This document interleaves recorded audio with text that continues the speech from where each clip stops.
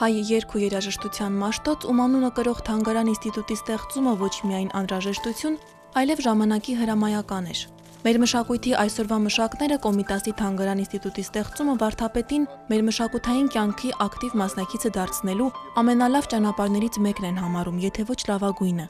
Համալիրը, որի կառուցման աշխատանքները տևեցին գրեթե 1.5 տարի, այսօր արդեն պատրաստ է ընդունել այցելուների, ուսումնասիրողների, երաժիշտների եւ բոլոր նրանց, ովքեր ուզում են նորովի ճանաչել Կոմիտասին։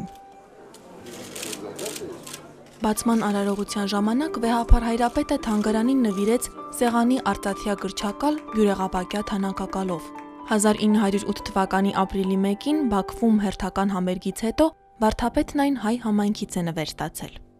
թեև կոմիտասը ուսումնասիրության կարիք կարծեք թե չունի Հայաստանում, մանավանդ տարբեր հաստատություններում ուսումնասիրվում եւ հրատարակվում է, ամեն դեպքում այս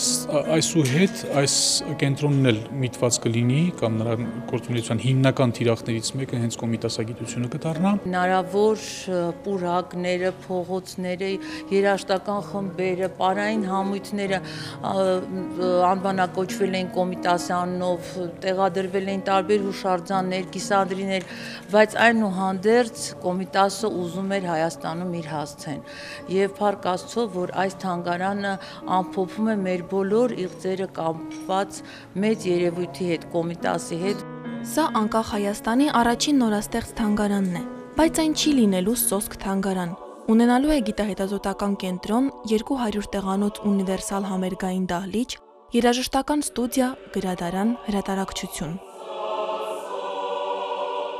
Թանգարան ինստիտուտը կառուցվել է հիմքում ունենալով 1949 թվականին ճարտարապետ Կորյուն Հակոբյանի նախագծով կառուցված նախկին մշակույթի պալատը։ 3450 քառակուսի մետր տարածք զբաղեցնող ներկայիս կառույցի հեղինակը ճարտարապետ Արթուր Մեշչյանն է։ Ֆանտաստիկ վտանգավոր տարածք էր եւ փորձը արվեց թանգարանի կառույցը նոր մասին ես նկատի ունեմ անել որպես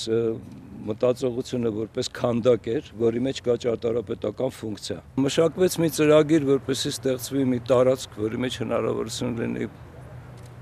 ստեղծել գրագետ հնարավորություններ ցանգարանի համար։ Ու հուսով եմ դա ստացվել է։ Այս լուսանկարում Կոմիտասն է երաժիշտների եւ Գևորքյան ճեմարանի պաշտոնեության հետ։ Սրանք էլ Կոմիտասի սրինգներն են։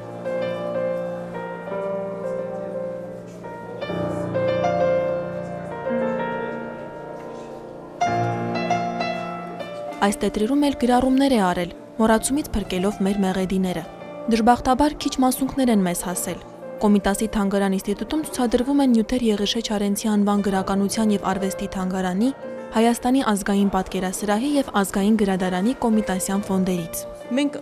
աղճատված կամ մասնատված զգացողություն կամ ընկալում ունենք կոմիտասի։ Մեկը նրան գիտի որպես երկահան, մեկը պատկերացնում է որպես բանահավաք, իսկ այստեղ նպատակ կար իր մոնումենտալ կերպարը ցույց տալու եւ այդպես էլ այդ դրամաբանությամբ էլ թեմաներն են ընտրված։